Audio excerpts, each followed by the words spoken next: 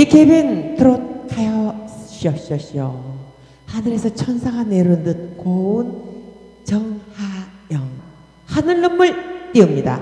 여러분 힘찬 박수 주시기 바랍니다.